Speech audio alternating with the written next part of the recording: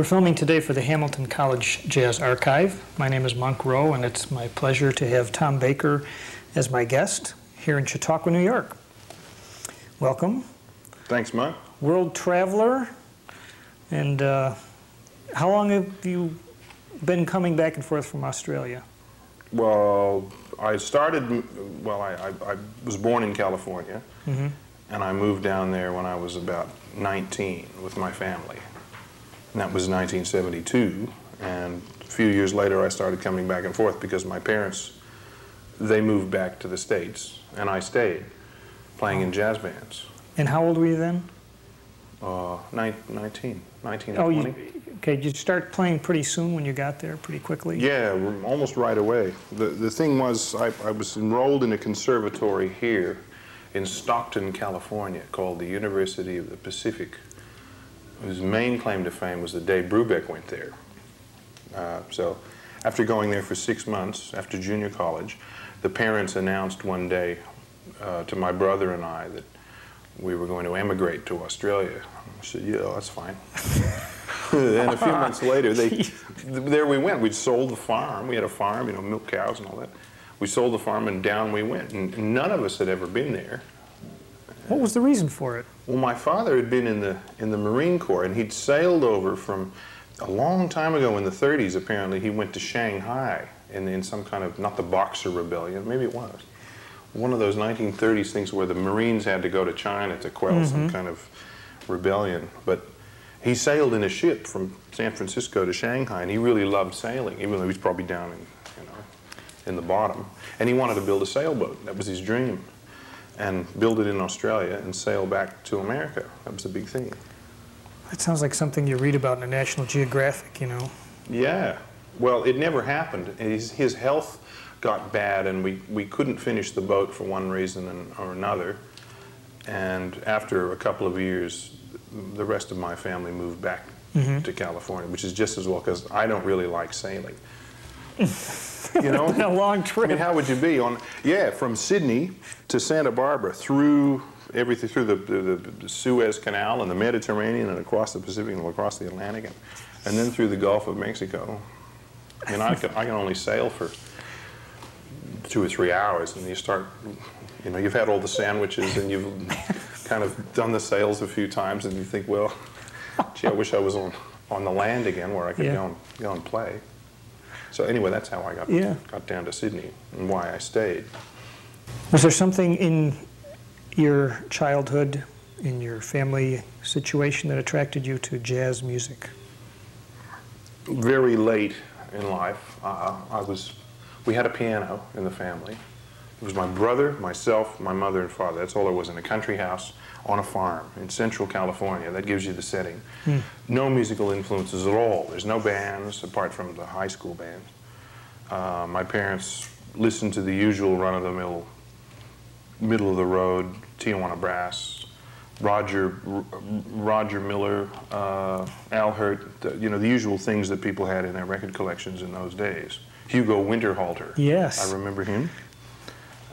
Little Mantovani, perhaps? Mantovani was there. Yep.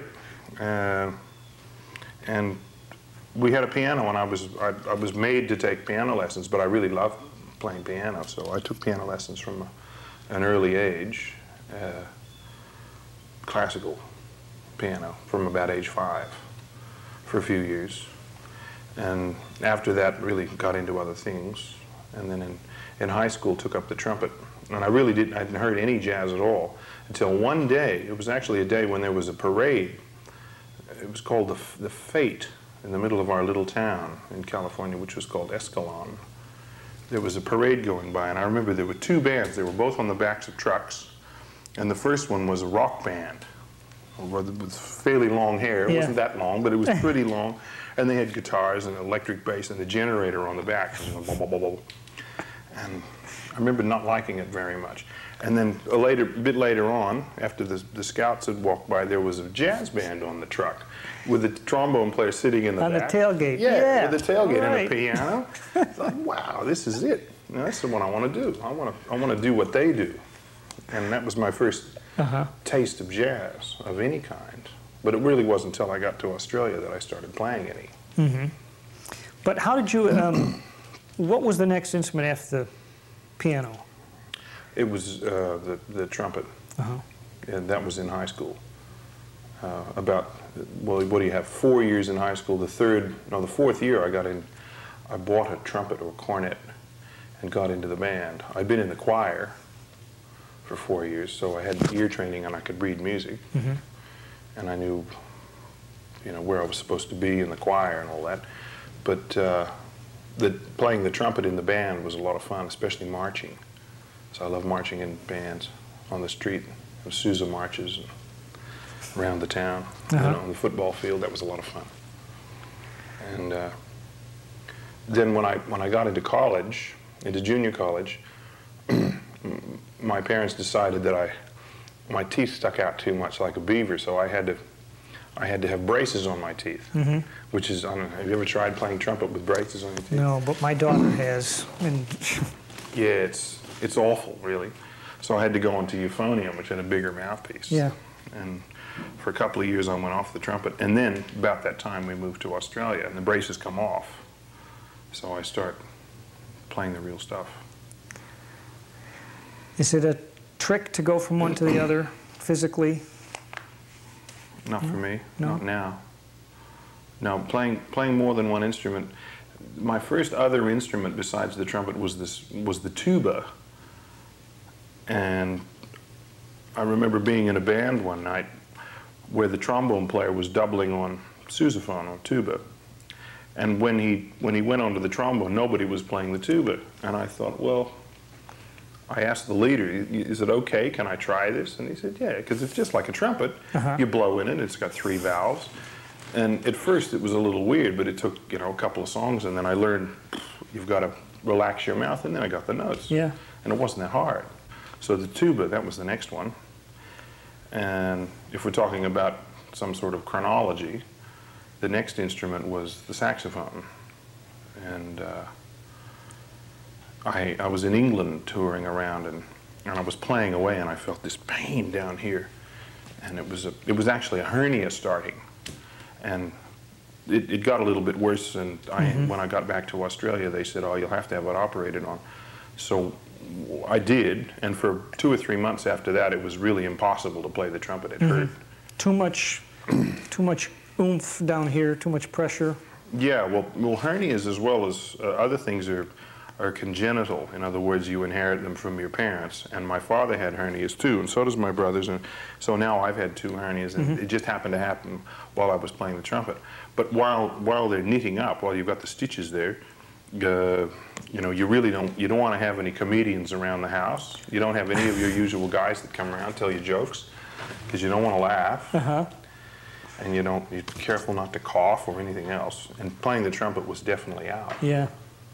But saxophone, you could play a little bit in the end, blow, and work the fingers. So while I was convalescing, I learned I learned the saxophone. Just went out and picked up a saxophone and Yeah, a friend of mine was going overseas, and I said, "Leave it with me, and I want to. I'll have a go, and I got to play something while I'm gone, or while you're gone."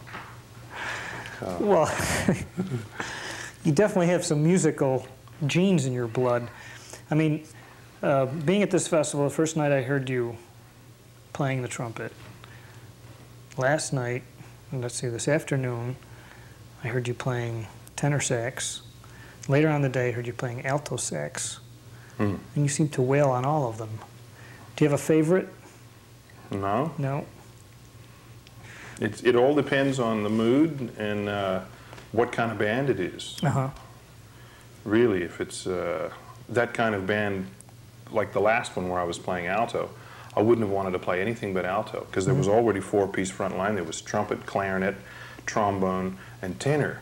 So for me to double on any of those would have, would have been, uh, you know, not as not as fun as playing the alto and, and trying to fit in, trying to play something that didn't didn't get in their way because Yeah. really, you know, five-piece front line is is very difficult. But some bands, you know, you have to play the trumpet. Other bands, I want to play the clarinet. Trombone's my newest one, Yeah. and I'm, that's I'm not there yet, but I'm I'm working hard on it. But it just depends on the band and Uh-huh. the mood. really. When I heard you play tenor, uh, it was interesting because you were four of you together. Yeah. And uh, you, in my ears, you were the most aggressive player there. Mm. Do you agree with that? Yeah. I mean, you had Scott Hamilton and uh, a couple other guys who mainstreamish players, I guess. I don't know. Labels are tough, but I almost could hear you playing in a rhythm and blues band Mhm. too. I probably get, if I get hot at all, I get hot probably sooner, or because I'm not used to playing. Like Scott can play, he can go up in a very gradual incline and get hotter and hotter and hotter and hotter. And at the end of it, you know, wow. I can't do that. I, I dive in with both feet, and, and I, I really can only play two or three courses, and then I, I run out of ideas. It- It's just, I need to need to do it more or something, or listen to Scott. But Harry Allen's great. He can he can start slow, and then expand, and then you think he's he's going to stop, and then he expands a bit more. Uh-huh. And uh, and Scott Robinson, I've never met Scott. I've never met Harry either. I've heard it on, on record, but I've never met Scott. And uh, he plays most amazing eclectic things. He sure does. Doesn't he? Yes. You know, up high and down low, perfect command of all the instruments, and he's standing with his deadpan look. Yeah. What's he going to do now? this lovely tone. He's completely in command of what he's doing. Yeah. And, and, and it doesn't sound like anyone else either. So, what kind of music did you listen to when you got into your teens? Did you get into jazz recordings? No, not at all until uh, until college. Uh-huh. The first jazz I, apart from this band that came by on the truck, I think they were playing the Saints. Something that the very first jazz I heard was uh, Turk Murphy's band on the radio from the University of the Pacific radio station. And shortly after that, I, the family emigrated to Sydney. And I started looking around for jazz, uh, starting to collect 78s. And I got a, a job in a music store, which was good. The, uh, the, the whole idea was for me to go to a, we were going to settle in a city. We could build a boat anywhere, going back to the boat. We could build a boat anywhere, but we were going to go to a city where I could get into a, a conservatory and finish my degree. And that was, it was a good theory, except we, we wrote to all of them. The only one that wrote back was the Sydney one, and they said, yeah, well, we'll have a look at him. So when I got there, they, they asked me questions like, well, what syllabus have you been studying? And I said, what's a syllabus? And they said, oh, well, what grade have you achieved? What do you mean, what grade? they asked me all these questions because the whole thing's built on the English system of grades, and the syllabus means the program, and, and what piece have you prepared? And I haven't prepared any piece. So I didn't fit in at all. And I left, I left the, the conservatorium, or the con, as we call it there, and got a job at a music store. And I, I got posted to the jazz department, and all of a sudden I was able to check out records every night. like two and three LPs. This was required that you take home records and Oh, listen to them. Yeah. It was fantastic. So I took home everything, everything in the, in the whole section, and taped everything. We weren't supposed to tape it, Yeah. but I taped it, of course, and brought it back the next day. So I had this vast collection of all these different things, and learned a lot Mhm. at that time. What was the music scene like in Australia in this, you said this was 70, early 70s? 72, 73. A pretty healthy pop scene over there? Yeah, a healthy pop scene, though we didn't have anything to do with the pop scene at all. Though uh, they still had black and white TV then. They didn't get color until about 74, just by the, by the way. Uh, but they did have their, their own pop idols, which were a bit like the American ones. They had a small amateur, semi, semi-pro jazz scene. And I remember the, the salary, the, the money we used to get on a Saturday night was seven dollars. And that, that went on for about two years, and then we got a rise or raise Mhm. to eight. Went up a dollar. In a jazz club you're talking about? Uh, bars, And bars. pubs, Yeah. real pubs. You know, they, they open at eight in the morning, they close at eight at night, and you know, there's fights and stuff. And there weren't jazz clubs as such like they are here. Yeah. but they had they had a jazz club, like a real club with members, and, and they'd have meetings once a month. Uh, and there was a professional scene where guys would make studio recordings for commercials and jingles. But I never got into that until a little lot, lot later. Was it an event when uh, an American jazz musician would come to town? Big event. I can remember when uh, the first concert I went to was. Uh, I mixed the, there were three concerts and I mixed them up because they would happen so close together. But it was, I remember it was Earl Hines and Bobby Hackett and Wild Bill Davison and Jon Faddis, I think. Could Would he be. be, have been around in '72? Yeah. hmm All right, Jon Faddis and, gee, who else? Benny Goodman, Zoot Sims. There was one promoter that brought packages out. And just before I'd gotten there, there was another package. It was New Orleans versus Bebop or, so, or something, you know, one of those jazz war things where they brought out the, the Thelonious Monk band. And Monk was so out of it, he kind of didn't play for a few weeks. And George Lewis's band as well Wow. and they toured together and they'd appear on the same stage uh-huh. so you'd get you'd get people from both camps coming along and you know sitting in different parts of the auditorium and booing the, booing the boppers. Whose side are you on? oh yeah. Oh you wouldn't speak to the other side. You'd know by the way you were dressed or you know what you were drinking or something. It was crazy. But yeah the, the, the, any, any americans that came to town the buddy rich big band uh, gary burton came over and uh, wow the basie band came over once or twice but of course because australia is so far away but because it's so far away the, uh, if if musicians did a, a tour of Japan, sometimes they'd like go south and include Australia and New Zealand in their package.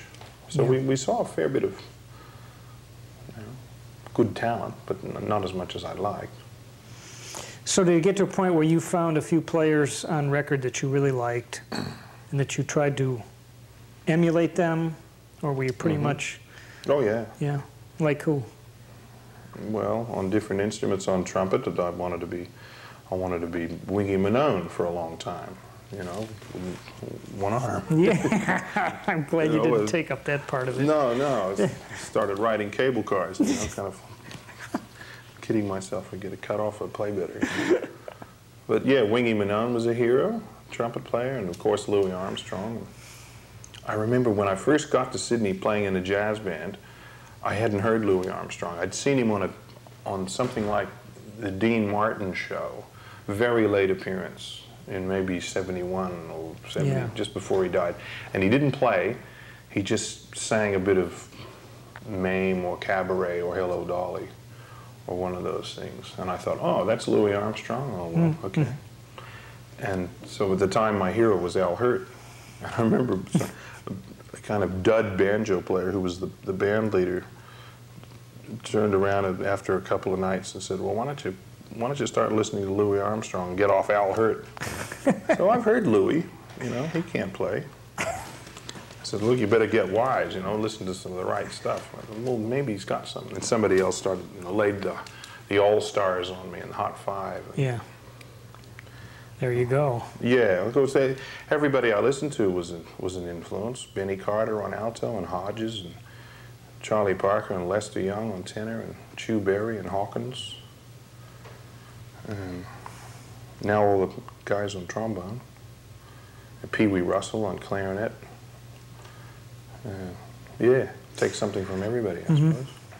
So do you work now, I hope this isn't an obvious question, do you work full-time as a musician, Yeah, as a performer? yeah. Yeah. And does it, uh, is there enough gigs in Australia that you can pretty much do all right? More than enough. No kidding. Yeah, there's lots. I could I could work more than I am be, because uh, playing all the instruments, I get calls from Yeah. more more bands than like call guys that just play one horn. Plus, I lead two bands of my own, and I'm in a big band. And uh, it's a good thing, Bob Barnard, because Bob's the you know he's the king in Australia. He's the you know he's the man. He's out of the country a lot, which is good for me. So when they want, when they want, they can't get Bob, they ring me, and so I'm I'm there a lot of the time. Uh-huh. Uh, and I, you know, we all we all do festivals in Melbourne and Adelaide, interstate things, Yeah. uh, for pretty good money. So yeah, there's there's a lot going. Australia's a very, uh, there's a lot of distances between places with not much in between them. Is that Hmm. a fair statement? Oh yeah. Well, the nearest big city to Sydney is uh, is about 14 hours drive, and you've you've got some smaller ones in in between. Then the next one after that is 20 hours drive. Then the next one after that is well, that's Sydney, Melbourne, Adelaide, and then it's it's two days drive to Perth, which is the most remote city in the world. But yeah, the, the population now I think is about 15 million, which is really, it's not that many. That's not that much. But in the center, there's basically not much. It's, it's real hot in most of the center. And where the rain is on the east coast, where, where things grow, and where people traditionally settled, and where they had the convict settlements in the old days, that's Sydney, Melbourne, and, all, and Adelaide, where the wine is, all around that, that southeastern coast. The northern part of it is, is too hot and it's rainy, and Darwin's up there. And we always say Darwin's got uh, alcoholics unanimous. Oh, yeah. Because there's really nothing to do but drink and, and, and make money up there. So people go up for either one or the other. I've never been there, so I don't, I don't know. It's- That's one of the Sydney sayings. But in the, in the middle, really, it's, it's basically nothing much. Little Yeah. towns and you know, towns in the desert with golf courses that, that don't have any grass. it's just sand. Well, you have golfers. You have a sand wedge.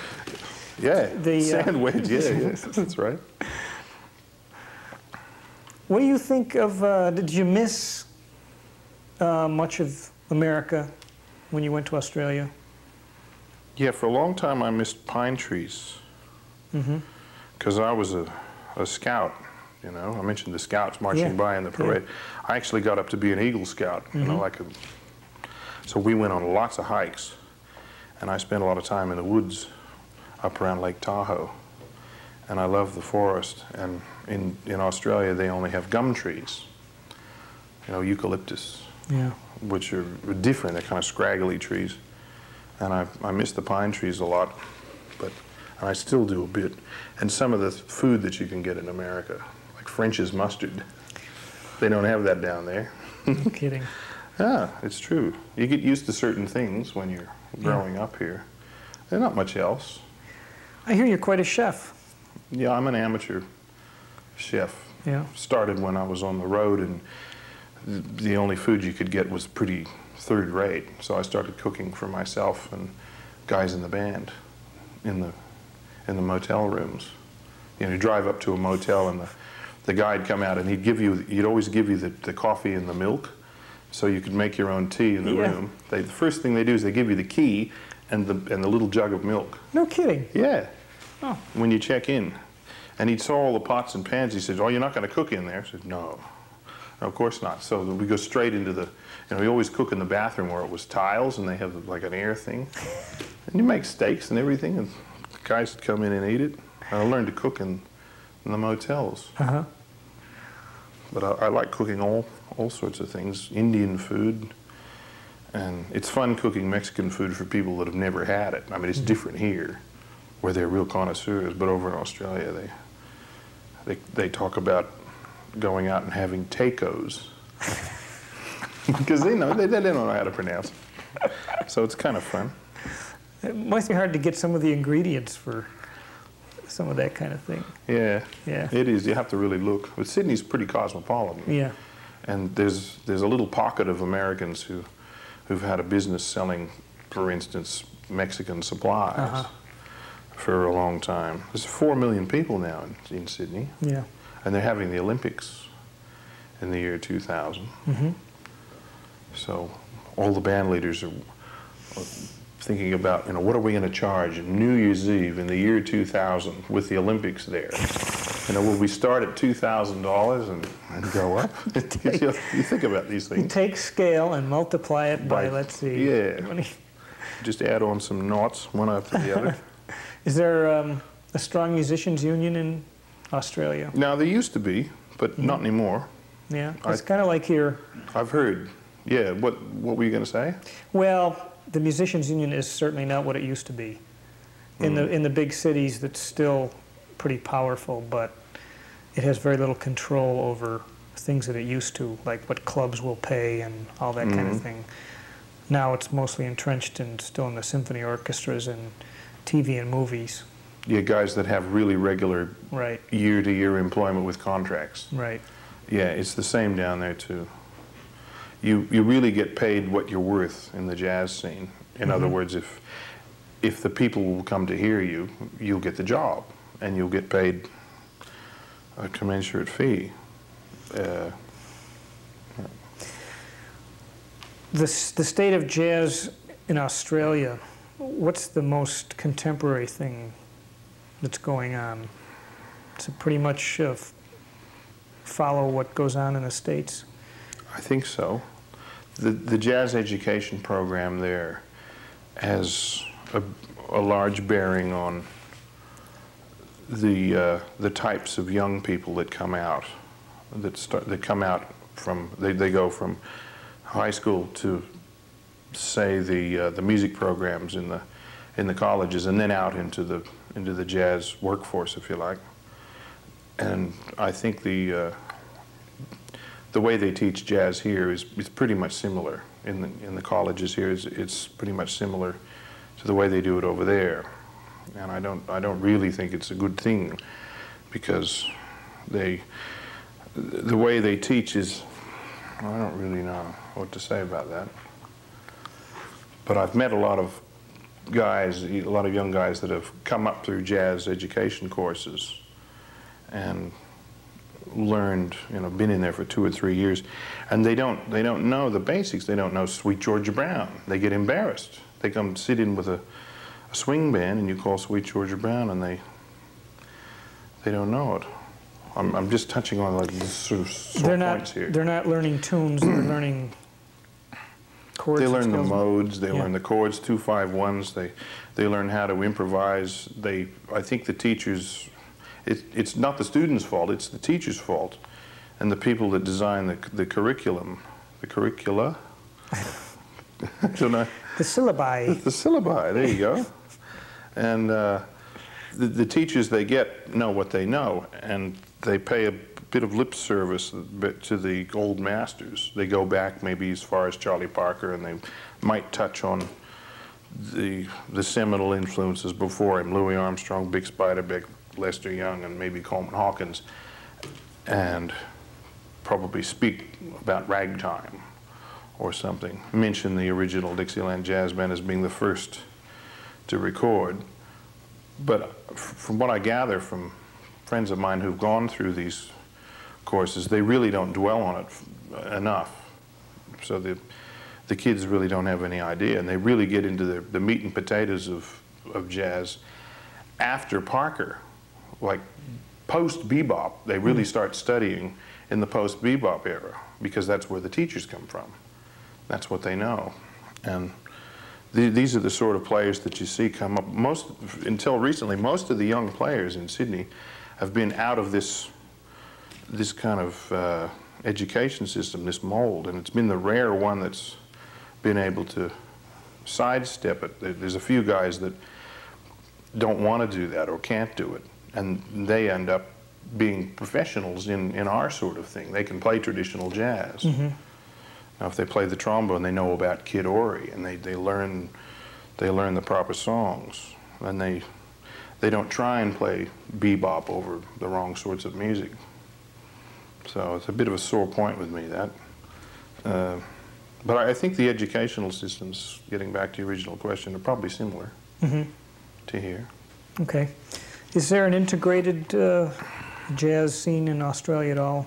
How do you mean? I mean, like black and white players. Is it There aren't any black players. okay? The Aboriginals, they're, they're there, but there's, as far as I know, there aren't any There's been an Aboriginal, a few Aboriginal tennis players, but they mm-hmm. they don't seem to be in, into jazz. There's there's quite a few country country and western singers and guitar mm-hmm. players, and and there's a guy that comes along where we play on a Friday night with the didgeridoo. I was going to ask you when you might add that to your arsenal of. Oh, that's real hard. You, You've got a circular breathe and all that. I can circular breathe already on the trumpet. Can you? It's it's mind over matter, like learning to juggle Uh-huh. three balls. Once you can do it, it's easy. But you just have to keep your lips. You have to keep air going while you close your throat and breathe through your nose. Um, you have to get somebody to show you, really, and then you'll know. But Uh-huh. with the didgeridoo, the hole, it's not just a little hole like in the trumpet or a straw or something. The hole is that big, and you're you're blowing a lot of air right through, and you have to breathe all that. It's continuous. Plus, you've got to buzz and make this sound, and they're doing all these things with their throat, and the most amazing sounds, animal sounds, and and, and uh, sounds of the forest and birds and stuff, all from this pipe. Yeah. Incredible. I've, I've heard a, a fellow from Australia do it. Uh, he was Aborigine, and he went on for five, ten minutes. I was just enthralled with what Did he play for he you? played amazingly, and he had titles for the the songs. For like, one was about a truck mm-hmm. going Yeah. down a highway in Australia, and the things that it met. Oh, and yeah. as he did it, you could see, oh my God, he's doing the truck, and it's going to run over this this animal here. Truck and- meets a kangaroo. yeah, something, it was just it was yeah. uncanny. That's good. Yeah. We, Okay. when we think of Australian music, we think of novelty songs like Tie Me Kangaroo Down Sport. Right. Well, I happened to tour Japan with uh, this multi-instrumentalist James Morrison, and uh, it was it was the it was the expo in Tokyo, and every country had a week to do their own thing, present their own music and their food, and uh, Rolf Harris was on the bill with us, along with Roger Woodward, the pianist, and opera stars, and a few other people, and. Uh, Rolf did he did Tie Me Kangaroo Down, and he played the wobble board, which is just a board, quite effective. And he did this thing where he we played Sakura da da da da da da da da da da da, you know the Japanese theme, Uh-huh. and he set out the front and he'd do a watercolor, which was real good. And when we finished the tune, he finished the watercolor and signed it, and then proceeded to uh, give it to these people in the front uh, for charity, and they'd auction it off, and they'd get all this money. Wow. And he did this on every concert he, f- in Japan. He finished with a watercolor and gave it to charity. So I thought that was a good thing to do. But I asked him about Tie Me Kangaroo Down, and he said, yeah, it was. Everybody thought that was the only Australian music because it was the number one hit. Oh, well, there was also My Boomerang Won't Come Back. Oh yeah, yeah. I've practiced till I was black in the face. My boomerang won't come back. Yeah, that you can't even mention that these days. they never play that on the radio anymore. No, I guess not. Oh, it's politically very incorrect. Uh-huh. But the Seekers, you know, they were Australian, Oh, yeah. and we heard them on the radio. Uh-huh. We didn't know. No one ever said they were Australian. We thought they were English. Well, you have, uh, you have stated that you have a mission, according to the program here, and this, that's to keep the swing music alive of the 30s and 40s. hmm And um, what is it about this music that, that- can you put it into words that makes you want to play it? it's just worth doing. Uh, a lot of times, we just we just keep playing, and there's nothing particularly that inspires us to do it. It's a worthwhile, valid music, blah blah blah.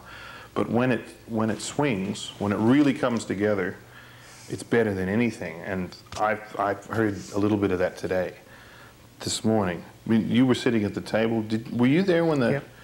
when they were playing Those arrangements? those arrangements. The last song they played, I was watching Bob Haggart, and you know, I want to go right out and learn the bass now. Yeah. I really do. Him and Hal Smith, they got together, and that's that's as good as any jazz I've ever heard on a record. It has a pulse to it when it gets going, and Yeah. man, with that, especially with that acoustic rhythm guitar chunking away. Well, even at its worst, it sounds good. But today, it, it caught fire. You know, we we, you can count on, on the fingers of both hands at my age the times when that happens. It, and it doesn't happen that often, even if you play every night of the week for years and years. The times when you can remember yourself rising up and thinking, this is jazz, this is why I'm doing it. And today was one of those things. Yeah. My heart was, wow. I wanted to yell. Ah. I know, and it, it, it was a little strange to sit while that was happening like that and to look at the audience. And God bless them, they're, they support this music. But it seemed a little strange to just have everyone so still. It's not their fault. They can't dance. They've got Yeah. to sit still. If they had a dance floor, Right. they'd be up. They should have a dance floor. This is dance music. We're playing dance music to people who are listening, and, and basically that it's I don't want to say it's wrong, but it's what It's- we're what we're doing. It's it's not concert music. Yeah, selling it short because that's what it was for. Was it? I mean, God, Selling it that- short. That's good. got that chunk chunk beat, and uh, I'm not even a dancer, but I just felt like getting up, Oh, me neither. and But- and I know a lot of those people would. I know they would. Uh, the a, a concert's good every now and then to keep to keep you honest, and you, you know you know that everyone's listening. It's great. And you put on a tie. And, but if, for day to day playing, if if they're not dancing, you're really not sure if they like it or not. Mhm. Uh, I mean, we're pretty sure here that they like it Yeah. because they're here, and they show up. They keep showing up, and they don't buzz off to some other place. They're there. But if, if people are dancing, you can tell. You can, you can create heat and make them dance harder, spin around, fall over, Yeah. and all that. Yeah, So th- that's really what this music is supposed to do, and we, we can't do it here in the other, the other jazz festivals. So I'd like to see them have a dance floor here. uh huh. Tell me about this nice CD. Um, that's, the, that's my latest one. Uh huh. recorded in Australia with uh, master cornet player Bob Barnard. And it's called The Man from the South, which is a, a tune taken from a Ted Weems recording from 1927. Uh, there's a picture of my car on the front. We're Uh-huh. sitting on my car, which is a 1953 Holden, a brand that will probably be unfamiliar to all the listeners. probably, probably from expatriates. Um, Is it a V8? no, it's a, it's a, it's a what they call a small six, Uh-huh. which is as big as you got in those days. Yeah. Ford had a V8, but Uh-huh. then it cost more. But this was built in Australia, and everyone was really proud of it. And you play trombone and cornet, and you do some vocal, Mhm. some tenor sax. Well, I look forward to hearing this. Yeah, there's a clarinet track, one or Clarinet two clarinets. track. Sing a couple. Bob sings one or two. Uh, And you do some arrangements too. Yep, and it's out on a label called La Brava, Mm-hmm.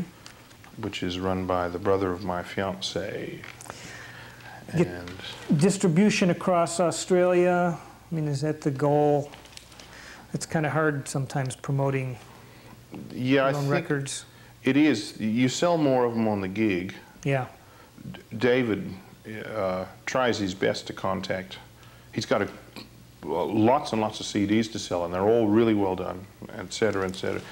But he tries to put them in record stores, and they, the mainstream record stores don't really want to know. All the jazz record stores, they're fine, but if it's not the large selling things, they Mm-hmm.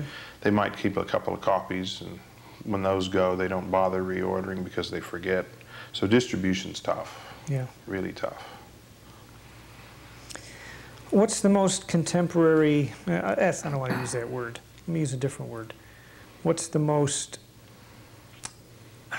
modern, chronologically type of jazz you would care to play?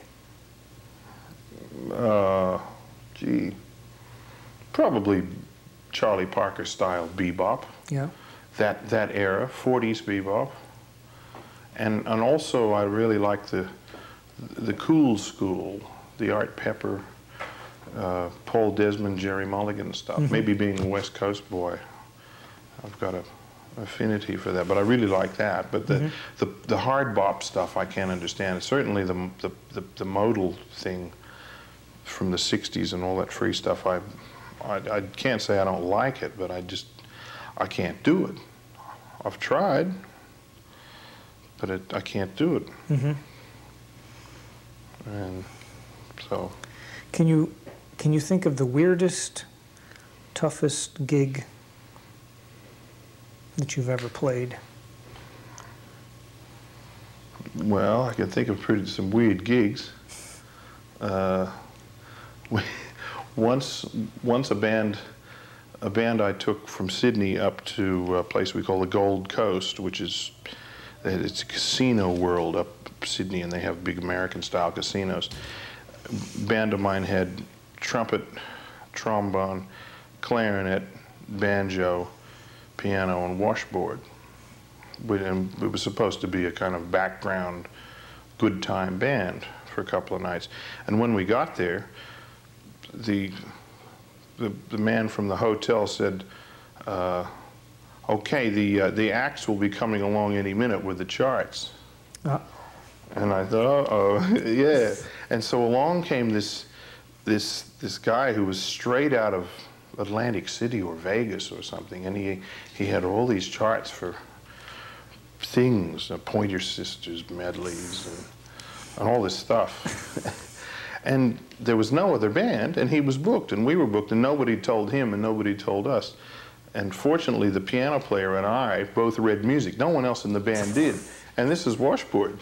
We had washboard. There's no drums, and there- there's a drum chart this long I'm with so drum fills. excited. Chick, chick, chick. yeah, can you imagine it? With the lights and all, and all that. So we did the show.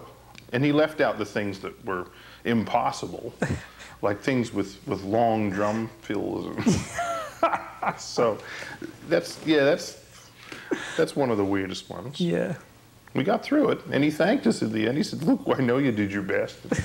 We said, well, thanks for putting up with us. we, we both split real quick to the bar and got out of it. Wow. Can the, is the life of uh, a jazz musician these days, is it, um,